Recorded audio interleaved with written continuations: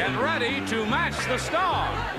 Bobby Van, Brett Somers, Gary Burghoff, Adrienne Barbeau, Richard Dawson, and Fannie Flagg. As we play the star-studded Big Money Match Game 74. And now here's the star of Match Game 74, Gene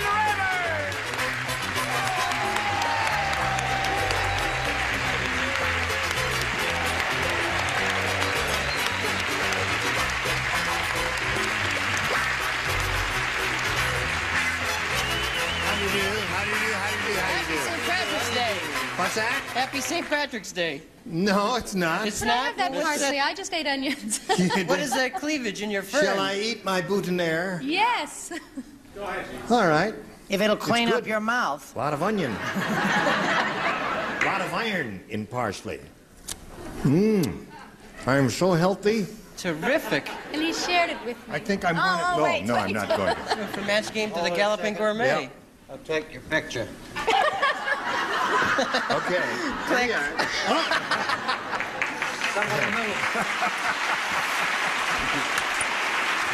Let's see what develops. Okay. Let's see what develops. Ooh, that parsley tasted Get the negative out there. All right. All right, let's say hello to our current champ here, Fred Mills. Hello, Fred. Fine, thank you. How much money you got? One hundred dollars, Oh, you just won. just one. Well, we were together last time. He had just won, and now he's going to have a go at the big money super match, right? The Right. audience match and all that, right? Right. You ready for it? I'm ready. Okay, we'll do that right after we do this for you especially. Now we're ready to have a go at it, Fred, if you are. I'm ready. Okay, here we go with the big uh, audience Oh, I wish super I could match have here. a go at it. We polled a recent studio audience, Fred, and we got their best response to this. Blank opera. Now, the answer that audience gave most often is worth $500, but you got to match it. If you don't match that one, you match the next one, you get 250 and the bottom one, $100. Three celebrities are allowed to help you with suggested answers here. Which ones do you want to call on? Uh, Richard, Soap opera. Soap opera. Adrienne, Adrienne? Oh, uh, a night at. I don't know. I can't. Will that work? A night at the opera? A Night at the Opera, the old Marx Brothers Yeah. movie? A Night at the Opera? I'm blank. I'll have to say. Okay. Okay, that's Yeah, yeah. You come up and do it. Okay. and Bobby, please. Uh, Metropolitan Opera. Metropolitan Opera. So we got those three. Now, you don't have to take any of those if you don't want to. You got Metropolitan Opera, Night at the Opera, and you got Soap Opera. Do you want one of those, or do you want to give us one of your own? Gene, I'll take soap opera. You want Soap Opera? Okay. Soap Opera is what he wants. That's what he's going to get. And we'll find out if it's up there, and if so, where. First, may we see the $100 response? Grand Opera. Grand Opera is up there. Looking for Soap Opera. And here we go with a $250 response. Phantom of the... Opera. Oh, we forgot that. That's right. So that's zero out of two so far, That was celebrities. close to mine. That was close. Close to yours. Last chance for soap opera. Here is the $500 response. You got it. Fred. Congratulations. Well done. Okay. Boy, Fred, you're up to $600 now. Now you're going to play for 10 times $500 or 5000 Which celebrity do you want to play with? I'll uh, stick with Richard. You ask him. you asked him which celebrity he Could wants you, to uh, play with, and and he looked takes around Richard. carefully. Yes. He's going to make a choice now. Re- rephrase that for me. Richard. Yeah, you want to play with Richard. Likes May I say, these are the days of your lives. Right. Okay, you face me if you would, please, Fred. I will uh, extract the $5,000 question from the slot and ask Richard to write his answer. Queen blank. Queen blank.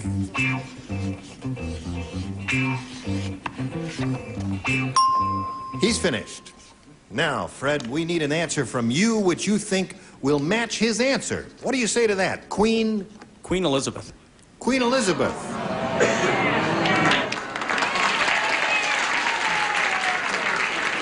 Well, I suppose if you're doing a, you know, with an ex-Englishman named Richard Dawson, you might say Queen Elizabeth, right? All right, what does the ex-Englishman say? Never even occurred to me. He didn't. Nope. Queen Bee. Queen Bee. All right. How quickly you forget. How quickly they forget, Well, right? she doesn't write to me, and I don't write to her. That's the way it's going to be. Things be. work out that way. I'm Yeah. sorry, Chief. Okay, so, well, no, Queen Bee was a good answer. Queen Elizabeth was also good. Fred, you've still got your 600. You're going to meet another player right now. So let's bring on Bev Walters. Hello there. How are you? Fine, thank you. I want to climb aboard. Bev, you know Fred? How's Bev Walters? Uh, fine. Good. What else you want to tell us about you? Oh, I'm a housewife. Yeah. I'm originally from uh, Decatur, Illinois, and now I live in Sun Valley, California. I have uh, two little girls, Katie and Jenny, and I go to school part time. Really? What are you studying? Uh, nursing, which I feel like I need a doctor right now. Is there a... Is there a doc- Hi, is, is, is Oh, there a- you know how to play doctor. Oh, yes. Those days are gone forever. Okay. Bev, uh, you're going to be uh, just dandy here. Good luck to you. I'll push this button and we'll get into it, and uh, you make a selection and we'll have a go at it. uh, A, please. A, all right. Listen carefully now, Bev. Brett said. she said, I just saw Fannie Flagg's IQ score. She says, I just saw Fannie Flagg's IQ score, and I want to tell you, her IQ is the same as her blank. Can I come and see you when y'all are in the hospital? Didn't y'all wait for me all day? Yes. Write an answer, Brett. Oh, oh, Remember, you are talking in this oh, well. fantasy world question. All right? Everybody ready down here? Oh, I've never seen anybody with a camera on their blanks. now, Bev, I'll give it to you one more time. Brett said, I just saw Fannie Flagg's IQ score, and I want to tell you her IQ is the same as her Bottom. bottom. Really? I'm not that intelligent. She's not that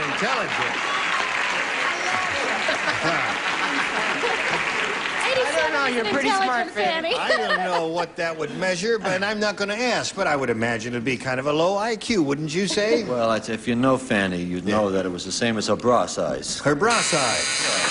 Okay. And what did you say there, Brett? Or 36D as in bust line. Bust line. That would give you an IQ of 36 there. I Gary, what do you know say? That Fannie has a very large IQ, every bit as big as her bust. Okay. All right, so the bazooms have it so far, uh, Bev. Uh, what did you- and you said it too, and you're holding it upside down. Oh, again? Didn't recognize him that way there. What you did you join the club here too? Uh, gotta be quicker than that, folks. Uh, now, all together.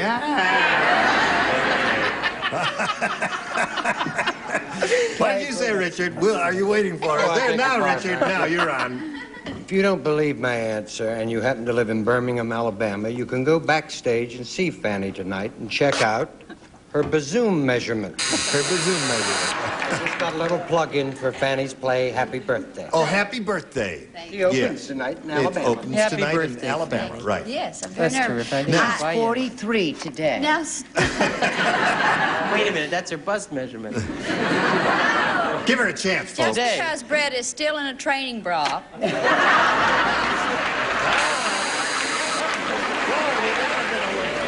Well, got a question for you in a minute or so, Fred, but first we've got to do a little business here, dear. All right, here we go. Ready, Fred? I'm ready. This one's yours. Let's see how you do with your first round question. Mildred said, My husband's really nuts. I'll tell you how nuts he is. When our sheepdog started shedding, he tried to make a blank out of the hair. That's what Mildred said. My husband's really nuts. When our sheepdog started shedding, he tried to make a blank out of the hair. You said it, I didn't. Well, that's easy. Uh, don't look at my I have to Come finish. on now, now. I'm the teacher. I can look. All right. All right. That's an accordion. Oh, that's nice. Have you written your answer? Oh! you're playing around with that accordion you haven't written? Incredible. Well, I already have my answer ready. Okay. All right, here we go. Fred Mills. Mildred said, My husband's really nuts. When our sheepdog started shedding, he tried to make a blank out of the hair. A rug. A rug. Okay. Most of them like it, some don't. What'd you don't say? Like, well, they won't like mine because I said sweater. A sweater. That's, not good. bad, though. You Sure. gotta give me good. Nice. yourself. Go for it, Billy. Nothing wrong with the nice Angora sweater. That's right. Okay, Brett. You boo him all you want. God bless you. You got it, Fred. Run. Fred's got a rug.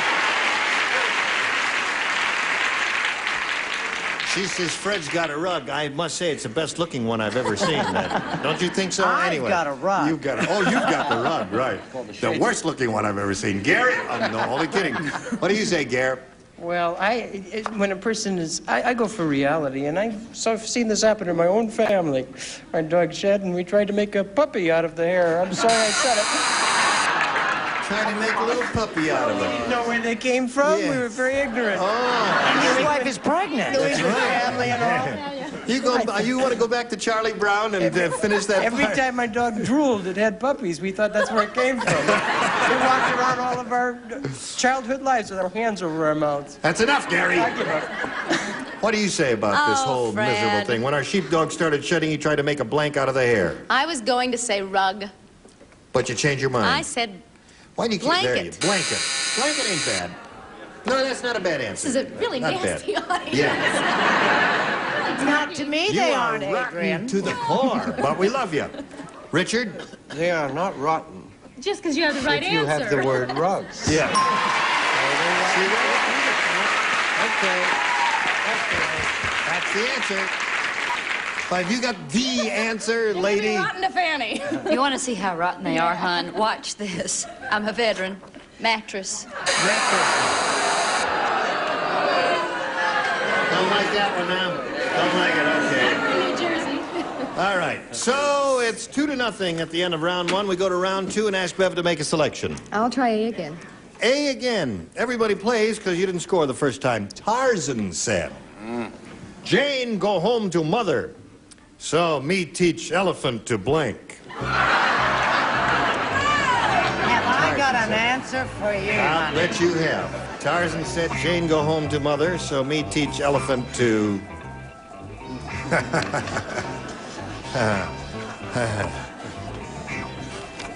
okay. Wait a minute. Right. Finish there. Let's see now. Do you get a prize if you finish first? Uh, No, we haven't worked that out yet. Got the feeling there are three eyes staring finished? at me over there. All right, we're all set over here. Now, Bev.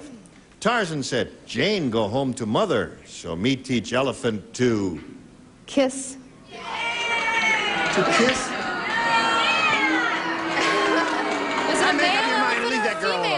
Listen, it may be an inspired answer. One never knows Is this about audience these. left over This from is the Tattletales? I don't know. This, you are really the most unruly bunch we've ever had here. Now, let's see. Now, She says kiss. I'm afraid to give an answer. They're going to come and get me. Are you going to attack, there. or can I just hold it up and Yeah, say? let me see what you got? Don't say anything. How about the cheering? No matter what it is, cheer. Teach elephant how to swing. Teach elephant how They're rather responsive. to. Not bad. The answer Bev is looking for is kiss. Me teach elephant to kiss. I like an enthusiastic group myself. Yes. I said, what was the question? Tarzan said, Jane, go home to mother, so me teach elephant to. Make baby elephants. Okay. It would be difficult to do without kissing, but what the heck? Did you did you think about that before you wrote it?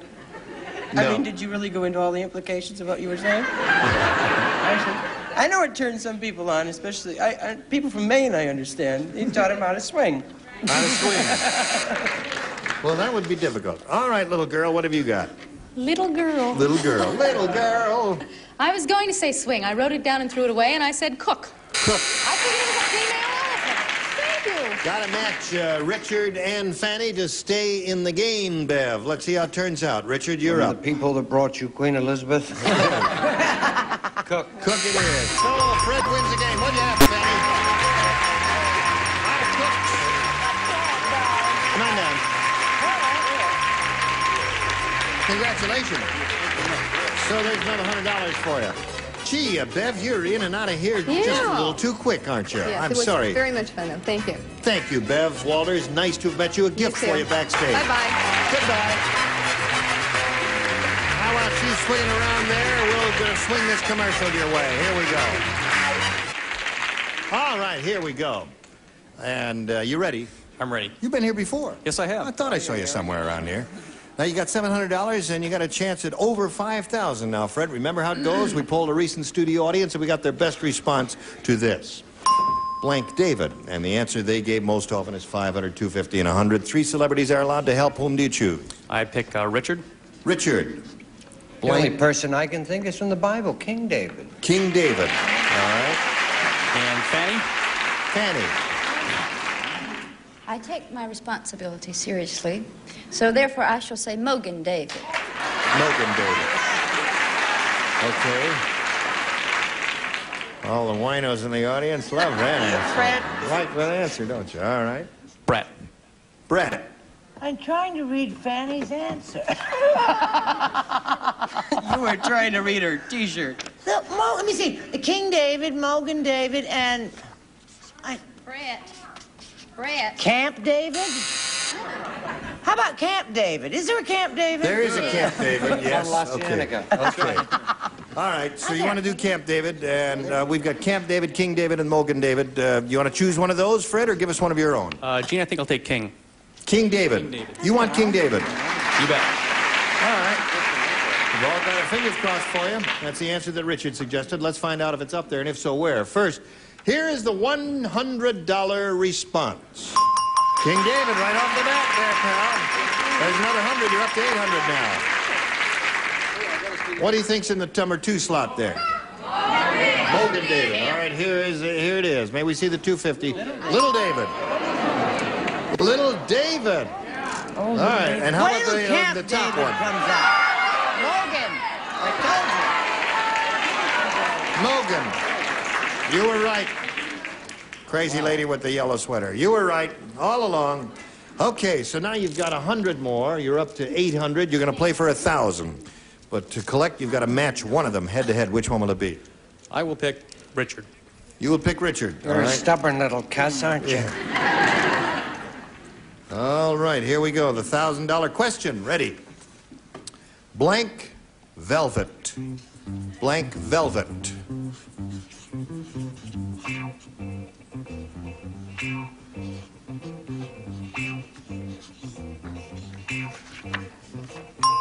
Now, he's finished, and we need an answer from you which you think will match his. How do you match him? Blank velvet. National. National Velvet?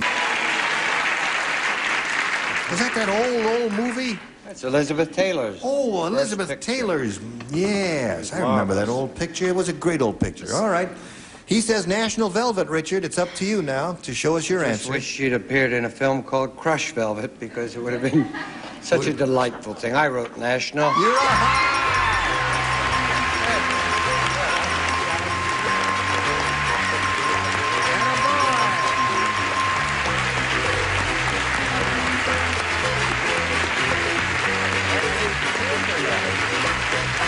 Well, well. Is that your friend down there? That's my friend and wife. Oh, that's your friend and wife. Oh, oh, I don't know that that was your wife. She's very happy, isn't she? Are you happy? Good. Okay, you have a total of $1,800, and now it's time to meet your next challenger. Here comes Ledley Chamberlain. Hello there. Hello. Want to step back up? Ledley, you know Fred Mills? Yes. He's got a lot of money. He's got $1,800. And he's very happy about that. And we're happy about that. Would you tell us where you're from and all that sort of thing? I'm from Penland, Pennsylvania, but now I live in Los Angeles. Yes. I'm married. I have a husband, a little boy, three sisters, six sister-in-laws, 11 nieces and nephews, two brother-in-laws. And they're all in the great audience. Terrific memory. and one great niece. Boy, And I a lot of some money. hormones going loose in that family. Well, you're a terrific lady. And uh, how old is your boy? How old is he? 19 months. 19 months. And what's his name? Omar. Does he watch television? Does he? He likes commercials. so. Oh, He likes you. I'm glad you mentioned that because we've got a commercial right now that your son is just going to love. Time is up. Just have a few seconds here to uh, ask you to come back next time. We'll start fresh right from the top with a brand new game, okay? Bring all your relatives. We All a of big them? clack here. They'll all be screaming and applauding and hollering and everything. Gary, I wanted to ask you, did your wife Janet enjoy doing Tattletales? Oh, she thought it Was was that her first time on really television? Terrific. That was her second time on television. Really? She had done Tattletales before? No. What? Suspects wanted. She had done another another show. She had. Similar, but not nearly as good. Yeah, well, we're Gary and uh, a whole bunch of assorted people, including myself and my wife Helen, are doing it this week, and we had a good time. It was really terrific. Yeah, and we had a good time here, and we'll look forward to seeing you next time, whenever that is. Join us, Gene Rayburn. Goodbye.